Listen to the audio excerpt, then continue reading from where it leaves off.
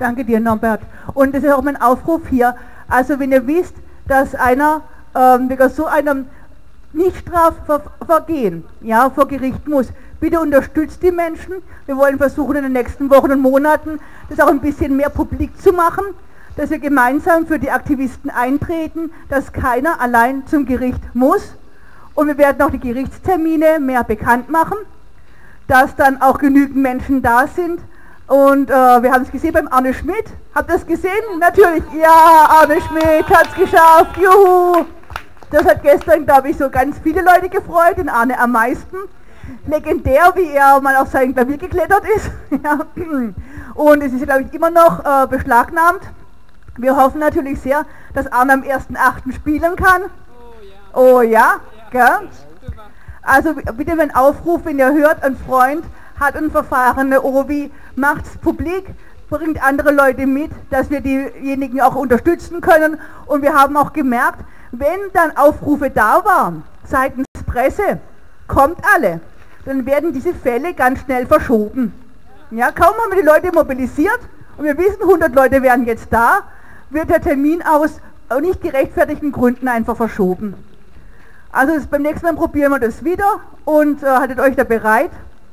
Ich habe jetzt da die Karte schon am Start, ich, ich übergebe dir, weil ich habe noch diesen Sachverständigen, aber bring du mal noch deins, das lockert das Ganze auf. Hallo Freunde der Demokratie. Abstand halten, Abstand halten, Abstand halten, Abstand halten. Also mein Gedicht. Ihr kennt's, oder? Ist ein Echo mit drin? Oh weh. Also das machen wir noch aus, das Echo. So, jetzt besser? Oder jetzt? Auch nicht? Egal. Ach, wie schön es damals war, als das Grundgesetz noch war. Ach, wie schön es damals war, als der Wähler dem Politiker noch etwas wert war und der Richter, da oben, der da, Hallo Herr Habert! mit dem Rechte noch eins war.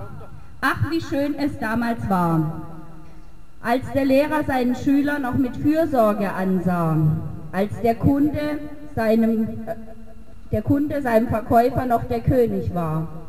Ach, wie schön es damals war, als der Schutzmann fing den Räuber und nicht schlug den rechten Mann.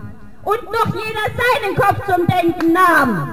Jawohl! Diese Zeit, sie war eine gute und wir nannten sie Demokratie. Und die wünschen uns wieder herbei, Kathi, wirklich.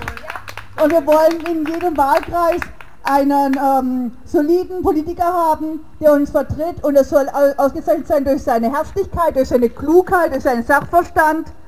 Und ich weiß, in Neu-Ulm war auch gestern eine Veranstaltung mit Daniel Langhans. Er hat sich auch als Direktkandidat ausstellen lassen und ich kann sagen, so einen Kandidaten kann ich mir echt nur wünschen und vorstellen.